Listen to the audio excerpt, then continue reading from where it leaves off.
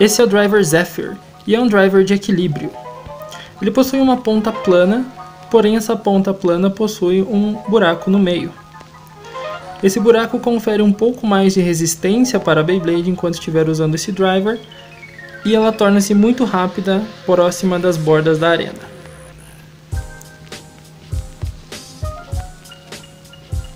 Justamente por conferir bastante resistência e um pouco de ataque, é considerado um driver de equilíbrio. Esse é o Disc Armed e é um disc de defesa.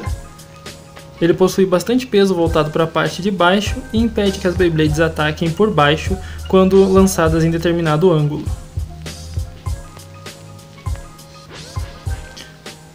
Não é um disco muito pesado, uma vez que ele é oco por baixo.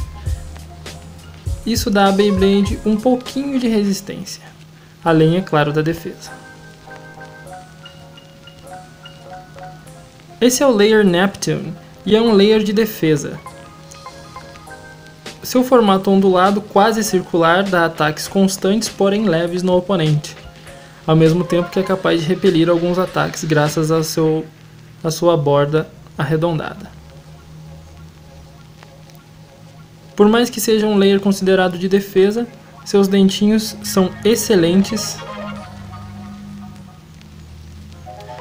e impedem que essa Beyblade seja explodida com tanta facilidade.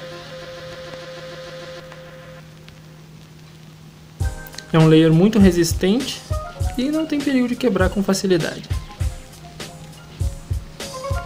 O processo de montagem é bem simples, como todas as demais Beyblades da série Burst, basta você encaixar o disc no layer e travar com o driver.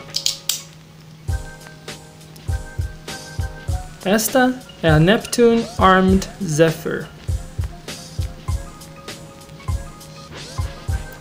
É uma excelente Beyblade de equilíbrio, também um excelente item de coleção, já que essa foi a segunda Beyblade de equilíbrio lançada no sistema Burst. Primeira foi Spriggan Spread Fusion. É uma Beyblade bem poderosa, quando bem lançada, ela pode resistir bastante tempo girando e também conferir alguns ataques quando lançada no ângulo correto.